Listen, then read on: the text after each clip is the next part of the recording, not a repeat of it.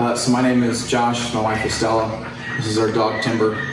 Uh, we chose bulletproof dog training uh, really because the videos we saw online of uh, you know taking taking a dog to the store, um, and really it was husky that we saw in the video that really brought us and really interested me because we know that our dog is is uh, pretty ornery sometimes, and uh, and so we were really impressed with what I saw.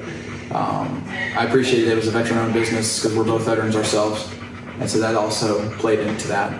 Um, but seeing what Timber's done um, just this afternoon is really, really impressive. Um, he's done things, you know, here over the last 15 days that uh, I never thought he would do. So very happy with what, what with what's going on.